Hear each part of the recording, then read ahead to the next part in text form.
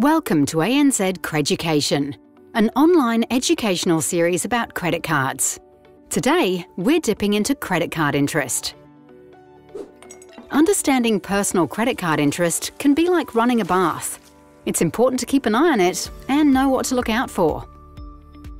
To increase your chances of smoother sailing, it's important to get an understanding of how interest works. So, if you choose to have a credit card, you might want to make a plan for how you're going to use it and consider how interest could come into play.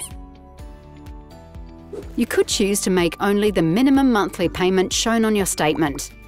But you might end up paying more interest this way, and it may take longer to pay off or reduce your credit card balance. So if your goal is to pay less interest, you could consider paying more than the minimum amount each month. If an interest-free period applies to purchases on your credit card account, you may get up to a certain amount of days interest-free, say 44 or 55, as long as you can satisfy certain conditions. But not all purchases will get the full amount of interest-free days, and some things won't get any at all.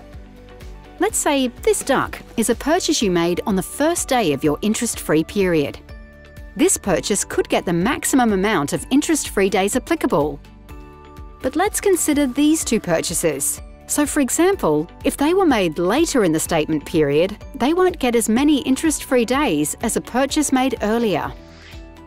You may also have to satisfy certain conditions, like paying your closing balance in full each month to maintain the benefit of an interest-free period. So it's important to familiarise yourself with how they work. Keeping this in mind might help you keep your ducks in a row. So, in short, remember, if you choose to have a credit card, think about making a plan for how you want to use it. Consider paying more than the minimum monthly payment shown on your statement if your goal is to pay less interest. And be sure to familiarise yourself with how interest-free periods work if they apply to your account. So, there you have it. Just a few tips that could help you get your house in order when it comes to personal credit card interest. Make sure to check out the full series for more Creducation.